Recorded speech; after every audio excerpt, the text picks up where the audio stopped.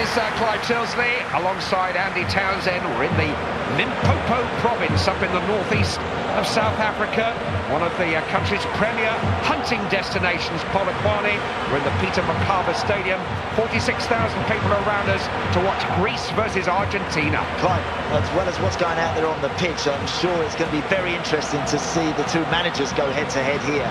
Otto Rehhagel, of course, success with Greece back in 2004 up against Diego Maradona. What are we going to see on the touchline?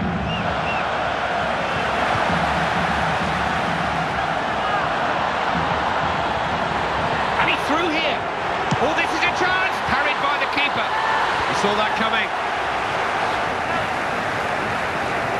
Of course, this is not the only game taking place today. The other two teams in the group have... Goal! They do have a lead in that one.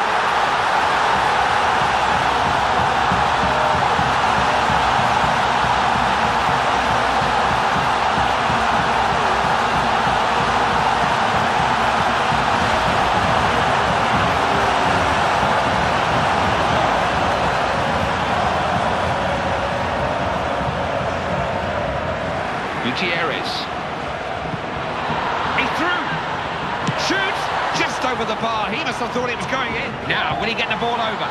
Kept his eye on the ball. Karagounis. Katsouranis. Oh, how good a chance was that to equalise? Agonising. He won't strip this man off the ball easily. Oh! Good stuff crossed in. He had to hold on to that. Di Maria. Diego Milito. What a chance! Back in the hands of the goalkeeper. He's in on goal! Opening here, great keeping! They could seal the win here.